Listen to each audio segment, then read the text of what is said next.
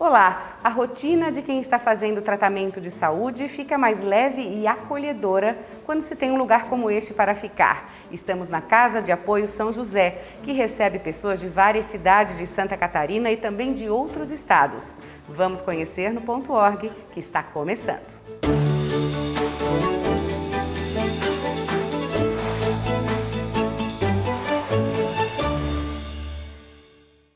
Casa tem estrutura para receber 33 pessoas. Todo dia chegam novos hóspedes vindos de várias cidades de Santa Catarina e de outros estados. São pessoas que precisam pernoitar em São José, mas não têm onde ficar. Dona Dejanir veio de Concórdia com a filha, que faz tratamento depois de uma cirurgia para retirada de um tumor no cérebro. Olha, essa casa de apoio foi uma benção que a gente conseguiu, porque a gente não sabia dela, e daí desde que a gente foi informado, a gente continua vindo aqui e aqui a gente é muito bem recebido. Se não fosse isso, a gente nem teria condições de se tratar, porque a gente já vem de Concorde, que é, é longe. Então, essa casa de apoio, para nós, é tudo. Se não fosse ela, nós não teríamos condições de, de manter esse tratamento com ela. Ela tem bastante dificuldade. Depois que ela fez a cirurgia, ela ficou com bastante dificuldade na memória. Tem dias que ela está bem, tem dias que já eh, fica mais com mais dificuldade. É uma oportunidade ter essa casa, porque aqui a gente tendo primeiramente assistente social, né, que dá esse passando por ela, a gente vem para cá, o padre, que é uma bênção, né, uma pessoa assim abençoada, muito querido.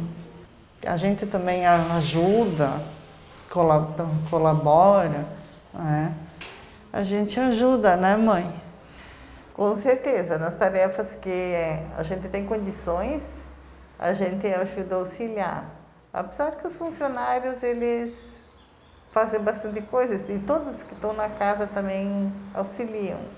Então, eu vejo que isso é importante também para nas tarefas do dia a dia. Almoço, assim, café da manhã, lanche da tarde. Cleia nos mostra toda a estrutura da casa. Aqui tem lavanderia, espaço de convivência, galinhas e uma horta com espaço para compostagem de adubo orgânico. A casa está sempre arrumada no capricho, resultado do trabalho e da dedicação da equipe e dos próprios hóspedes. A gente faz esse trabalho assim de fazer com que a pessoa se sinta bem. A gente né, terminou o café, a gente já pede que cada um leve o seu prato até a, a pia e aí geralmente a gente faz ali um, um jogo de um, um lavar, outro é, enxaguar, o outro secar. Enquanto isso, os outros já estão limpando o refeitório, outros já estão lá em cima limpando a parte de cima, outros na porta. A gente vai fazendo, né? Então eu já vou dando aqueles kitzinhos ali, balde, pano, tudo porque a pessoa se sente em casa, a casa continua limpa, né? Porque é rotativo, né? E a pessoa se sente bem, ela se sente parte da casa, né? Então seria muito ruim para ela ficar nos quartos. Então a gente faz esse esse trabalho de convidá-los, né? Ajudar, né? Então vai ser um café maravilhoso, todo mundo gosta, certo?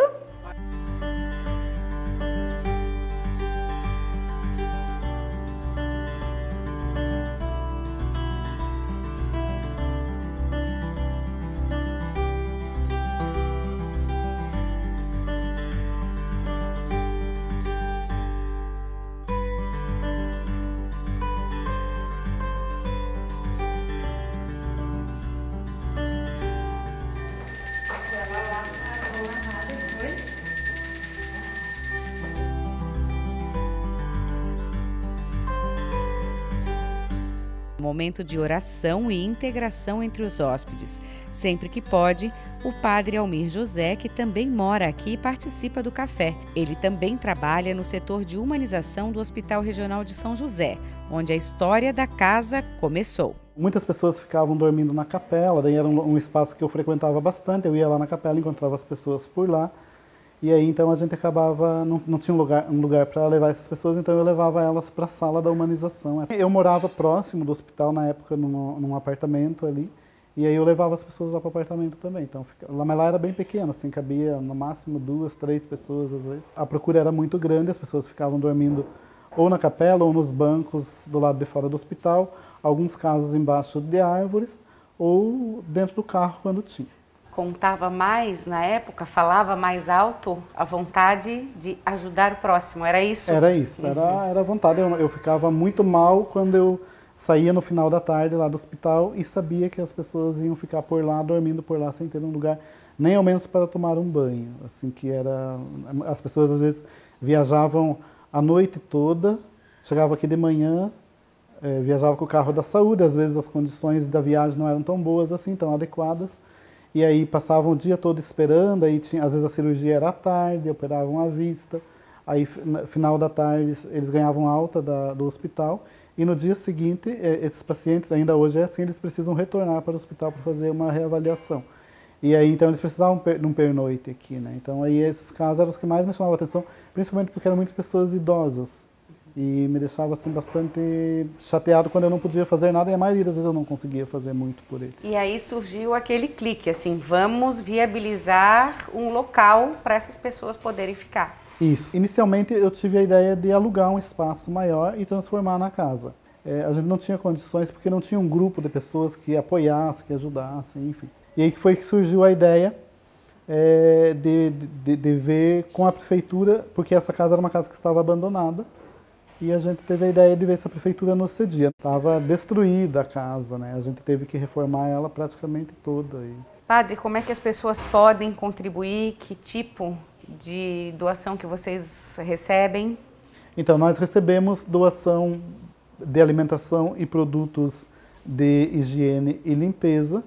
É, recebemos roupas também, é, desde que te, estejam em bom estado. Os, as, os, os, nossos usuários, normalmente, eles trazem as suas roupas, mas tem aquele que acaba vindo na emergência e acaba sem trazer. Então, a gente também tem alguma coisa para oferecer para eles. É, e também a gente também é, vende, assim, através de brechó, alguma coisa para a gente angariar recursos para casa. É, nós temos um bazar aqui ao lado, que é, que é organizado e mantido pela ASA, que também é para manter, ajudar nas, nas, despesas da casa. A gente olha todas essas pessoas, né, deve passar um, um filmezinho na sua cabeça, assim, no sentido de onde elas estariam se não existisse essa, essa casa. Que mensagem que o senhor gostaria de deixar? A mensagem que eu deixo é o que o está muito forte em mim, é, com essa experiência e outras que eu tenho, é que a união realmente ela faz a diferença que a solidariedade é possível, que as pessoas podem ajudar. Muitas pessoas às vezes gostariam muito de ajudar e fazer um trabalho social, até mesmo espiritual, na, no, do, do, ponto de vista da caridade mesmo, mas às vezes não sabe como, não tem como, né? Então, assim, ajudando uma instituição como essa, a gente tem um alcance muito, muito grande mesmo. Aquele, aqueles 10 reais que uma pessoa me dá, às vezes, no, no final da missa, vai se transformar em alimento para uma pessoa que ela nem conhece, mas que essa pessoa é, vai estar sendo ajudada porque ela ajudou lá. Então isso faz a diferença. Nesses quatro anos que a casa tem, a gente foi se organizando, ela foi sendo reformada com muita doação. Tem até uma tem até uma historinha que o padre pediu a primeira doação numa missa lá em Palhoça, na Imaculada Conceição uma senhorinha bem pobrezinha pegou 10 reais assim. Ela nem imaginava a dimensão do gasto que ia ter. Ela disse, eu quero ajudar com 10 reais. Esse 10 reais ele ainda tem guardado. Né? Ficou um símbolo da doação. E aí, aí foi uma coisa assim tão linda, tão emocionante, uma coisa da obra do Espírito Santo, sabe? Assim, veio tanta gente e ainda vem e não falta nada. Às vezes quando começa a faltar, vem de novo e, e assim, ó, é maravilhoso. Eu nunca tinha participado de uma obra assim. Para mim está sendo uma experiência não nova, né, porque já faz um pouquinho de tempo, mas assim, todo dia a gente fica imaginando como que era e como que é agora, né? A gruta foi construída por Iselain, que veio do Haiti há quatro anos. Ele está acompanhando a esposa, que fez transplante de medula. Ele acabou sendo contratado e hoje trabalha na casa. Parece minha família. Agora está trabalhando, graças a Deus, está ficar feliz. Este casal veio do município de Treze Tilhas. Marcos trata um glaucoma no olho esquerdo e passou por duas cirurgias. Chegando aqui, a gente não tinha lugar onde é que ficar, falei com a assistência. Aí ela, ela mandou eu procurar. Aí liguei para minha assistente lá em Treze Tilhas, ela que ligou para a Cleia. Aí de lá para cá foi, foi maravilha, né? Que aí a gente chegou aqui, são muito acolhedor, é, tudo muito limpinho, né? É, tem café, almoço, café e janta, entendeu? Eles tratam muito bem a gente, né? E eu só tenho a agradecer. A gente criou uma amizade muito boa aqui com eles. O padre é uma pessoa muito gente boa. É. O padre é uma pessoa que tem um coração muito é. grande. E é só agradecer. O que eu tenho que falar é agradecer bastante. Não tem dinheiro que pague. E, e nós viemos aqui porque ele está com problema, né? Deu um problema sério no olho dele. E como lá em Tresitilha, em Joaçaba não fazia cirurgia aqui, né? E me enviaram para a gente para cá. Mas aqui está sendo ótimo, já, já, fez a primeira. É uma cirurgia agora, cara, né, É uma cirurgia muito cara, a gente não, né? Se fosse para a gente pagar, era muito, muito dinheiro. caro, mas eu só tenho a agradecer né, a, a casa, agradecer o SUS, né? Enviado por Tresitilha, que nós temos a agradecer muito a eles também. E os povos aqui estão, são tão gente boa que parece que a gente já tem conhecimento com eles muito tempo, de tão bom que eles são. E aqui é né, só benção, né? Porque a gente não ia ter condição de ficar em hotel 30 dias, né? né? Aí aqui é, é muito bom. E aqui a gente fica até com o coração puro, né? O padre faz missa para todo mundo aqui, tem missa aqui dentro mesmo da casa de apoio, nós está aqui. A pessoa que nunca foi na missa, nunca rezou, não, aprende aqui dentro. É. Aqui toda alimentação tem oração. Exemplos assim mostram que a casa cumpre seu objetivo. O local é motivo de realização e prova que tudo é possível. Aqui, quem precisa encontra mais que apoio, encontra um lar, mesmo que provisório, mas cheio de estímulos e esperança de dias melhores. Nós não podemos perder a esperança, porque se nós perder a esperança já fica difícil. Mas eu sempre digo, Deus é maior. Então, esses quatro anos assim mostrou é que tudo é possível. Quem não, te, quem não sonha, não acontece.